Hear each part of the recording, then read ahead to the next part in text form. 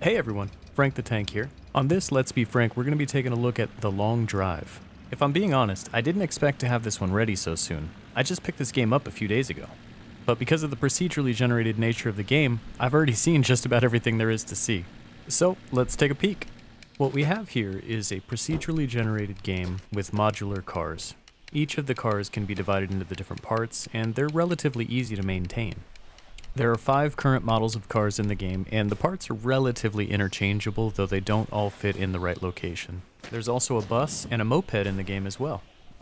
The system is limited but extremely functional, and actually quite a lot of fun. There's also a degradation system which will cause parts to eventually rust, forcing you to use a wire brush or cleansers to keep things pristine.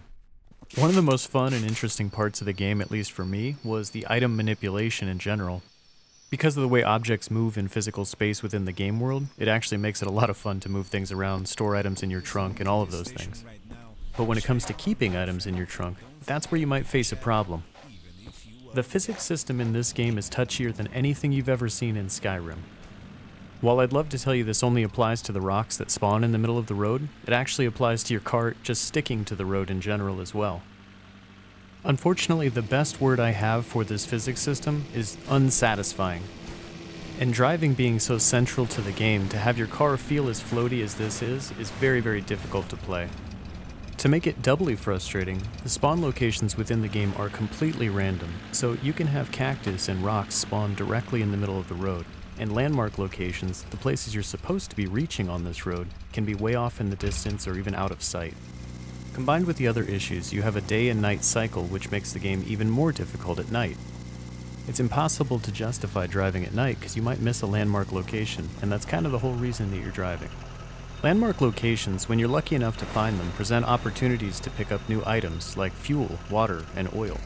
While the game does seem to have some survival type of elements to it, there doesn't really seem to be any need to actually survive.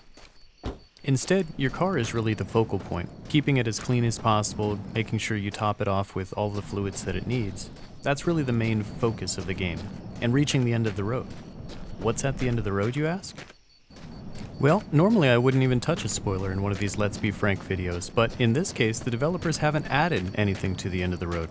There is 5,000 kilometers of road, and that's it. Everything else in the game is completely procedural, and if you've played for a good amount of time, you've probably seen all there is to see.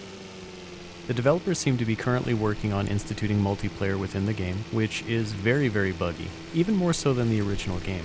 I can't say that it's the strongest idea from my perspective just simply because the base game doesn't really feel all that finished yet, but we'll see where it goes.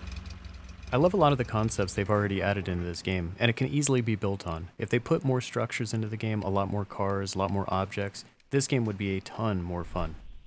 The game is selling right now for $12 on Steam, but it's hard to justify for somebody who's on a budget. Right now, there's not a lot of gameplay for what you get, and there's not really anything to work towards. I would suggest adding this one to your wish list and see if they continue to add to it. If the developers continue to work on it, it might end up being an amazing game.